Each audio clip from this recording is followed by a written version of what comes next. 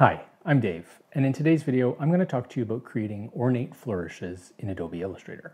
Flourishes like these can be used to add flair to all sorts of different creative projects. Early on in my design career, I downloaded a pack of flourish brushes for Adobe Photoshop, and let me tell you, I use those flourishes on everything. The only issue with that was they were pixel-based brushes, which meant that you couldn't scale them up. If you know me, you know I swear by vector-based graphics. You never know when you're going to need to scale your stuff up to fill the side of a building. Am I right? So fast forward all these years, and I've created my own pack of flourishes. I've just posted them for sale on my website. Now you heard that right. I'm trying to sell these flourishes. That being said, since you're here watching this video, I'm just going to go ahead and show you my entire process so you can replicate these on your own and add your own spin to it. If for whatever reason you're running out of time and can't create your own, feel free to hop on over to my website. I'll leave a link down below and uh, pick up this pack. I'd, I'd really appreciate the support, but absolutely no obligation because I'm going to give it all to you for free here in this video. Anyway, that's enough chit chat. Let's hop into Illustrator where I'm going to show you this process from beginning to end.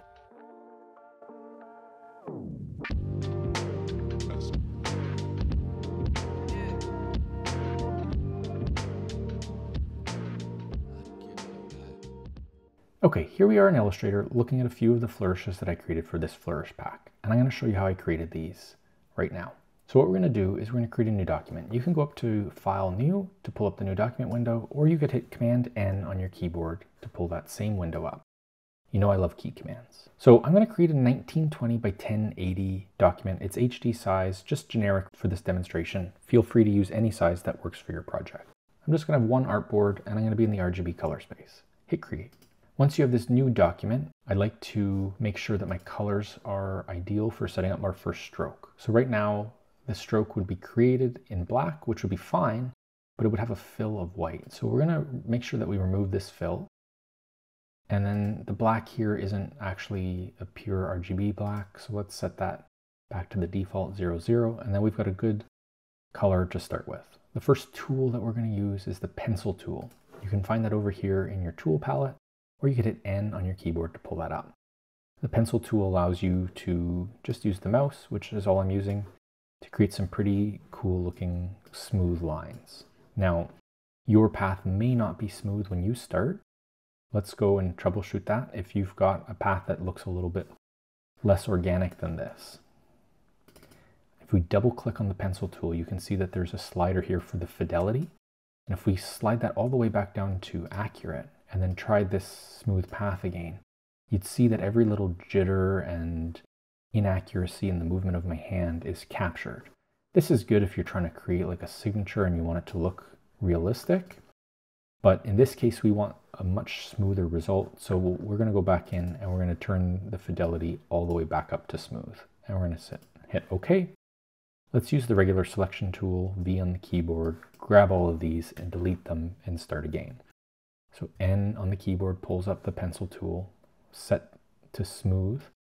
And we're going to try and create a really nice looking smooth line here. Now feel free to manipulate this if there's areas that you don't like. Another method that I would sometimes use is to go to Object, Path, Smooth, and then you can play with this slider here to adjust just how many points are inside of this path. And maybe around there at 88% smoothing, it's removed a couple of those points and created a much more pleasing looking base for our flourish. Now right now, this has got a very basic profile on the stroke. If you open up your stroke palette, you can change that profile here to one of these defaults, which looks like a sharp oval. The sharp oval creates a really nice tapered looking stroke. When the stroke is very thin, it was only set to one point, you're not really going to be able to tell what that accomplished. But if we increase this all the way up to maybe 10 points for this document, maybe even a little bit higher, let's jump up to 16. We've got this really nice tapered end on either side, gets thicker in the middle, and has a lot more substance. This is going to allow us to create some lines that come off of here and create our flourishes. So I can use that pencil tool again, and I can try to pick up a point somewhere along here in the path, and create a flourish that comes out and goes around. And surprisingly, that turned out really well. Sometimes that's harder to accomplish with the pencil tool and you might get frustrated with the results not looking all that clean. So one of the ways that we can create a really nice spiral is actually buried over here underneath our line segment tool. So whenever you see a triangle on a tool, it means that there's something nested underneath it. So if we click and hold, we can see that there's a spiral tool that's nested underneath the line segment tool. With the spiral tool active, if we click and create a spiral, we haven't released our mouse yet, so we can adjust the angle of it, we can adjust the size of it. There's some other adjustments that I'd like to do here. So the up and down arrow are going to add and remove segments of these spirals. So you don't need to have all that many. You can create this nice curved line here, or you can have it hook back under a little bit.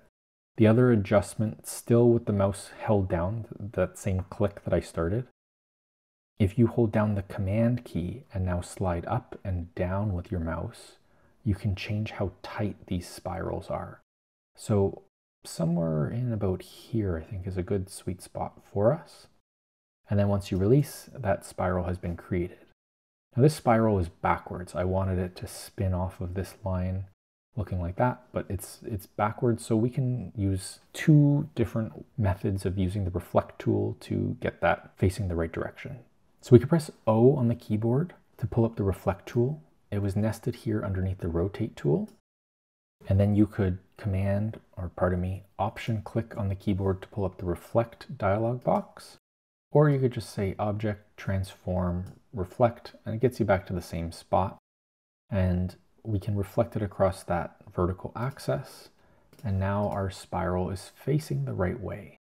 Now, it still has that uniform profile on it. And in this case, we're not going to use the taper to taper. We're going to use a single-sided taper, just this triangle here. And we're going to increase the stroke weight until the end of it is looking relatively close to what our original stroke was.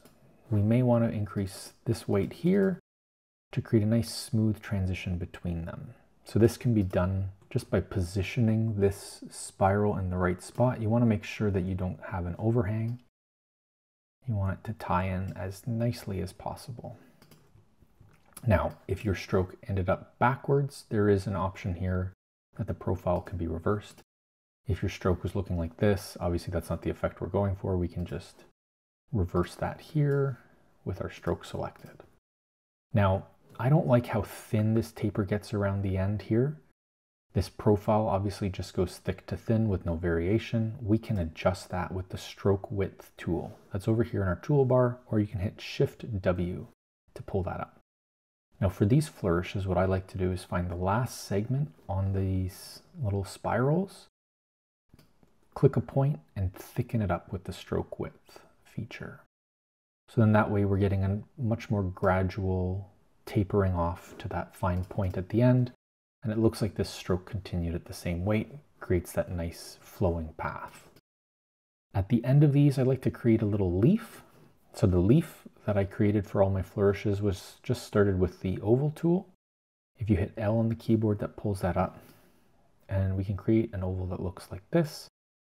Now it's got a stroke around it. We want to change that to a fill. If we hit Shift X on the keyboard, that reverses them, the stroke and the fill. It's basically a keyboard command for this little switch up here, which just changes back and forth between a stroke and a fill. So if you did have a fill and a stroke, you can reverse them. But in this case, because one was empty, you're just switching them. So here's our leaf that's been created. Let's go ahead and use the pen tool. So press P on the keyboard or select the pen tool up here. And then we're going to option click on these endpoints and that converts them to corners instead of having the rounding handles come out or the Bezier handles come out. They're now converted to corners. And that there itself creates a nice little leaf that we can place at the end of this little spiral. Or if you want to add a little bit more detail to the leaf, you can start to manipulate it with the pen tool. So let's press P on the keyboard to pull up the pen tool. With the path selected, let's find a spot here that we like and add a point to the path. Then let's start to manipulate it with the direct selection arrow a on the keyboard would have been the keyboard command for that. And now we can pull this handle in and we can drop this point down. And then you can manipulate this a little bit to create a more of a leaf looking shape, a little bit more organic than just that original sharp oval that we created. Maybe make it a little bit thicker. All of this is up to you, depending on what style you're going for. And then you can find a good position for this on the end of your little vine that was created on your flourish. Something like that is looking pretty good. Now, there's a few other things that I would do when I was creating these flourishes. Sometimes I would find a curve and try to create a new shape that would look like this. I can use the eyedropper tool, press I on the keyboard to select the same stroke um, attributes. The only thing it won't pick up for some reason is the profile. You can just set that by clicking down here. But now it's the same stroke width and color as that original. And we've got a nice little interaction happening there. You might even want to click and option, hold down option, create a copy of this, and then reflect it again back to the way that it was originally, maybe reduce it in size, rotate it around, and now you've got another nice little spiral coming off of this branch of our flourish. Same thing with this leaf, we can drag a copy out. Maybe because this flourish was smaller, hold down shift and reduce it in size, rotate it and find a good position for that there. So this is looking very similar to all of the other flourishes that I created. But There was another element in those that I'll show you how to create now, and that was those dotted lines. So this path here I want to create something that kind of runs parallel to it and has a series of dotted lines or a series of dots attached to it. And I can create a new path. I can press N again and pull up a pencil and try to get as close to this profile as possible. But you'll see that the curve changes and I want this to look a little bit more, I don't know, structured and following this path almost identically. So the way that I achieved that result was to have the path selected and then say object, path, offset path. And then with offset path, we can determine how far apart from this original stroke we're going to offset this new path. So let's go out maybe 50 pixels, toggle the preview here. And I like where this is sitting now. Starting at about here, the middle point between these two, and then running all the way up to there would be pretty nice for that dotted line. So let's hit OK. Because this path wasn't closed, the offset has created a closed path that's extended out on either side, but get this weird little box at the end. And we're going to get rid of all of that by selecting this new path, pressing C on our keyboard to pull up our scissor tool, and then finding that point that I mentioned in about here in the middle, and cutting, and then cutting at about this anchor point here. And now this path is following the profile of the original one by that um, amount that we set in the offset path feature. And now this piece that we've cut off, we can just clear that. So now this section here, instead of keeping it with the tapered profile, we can come back to the uniform profile.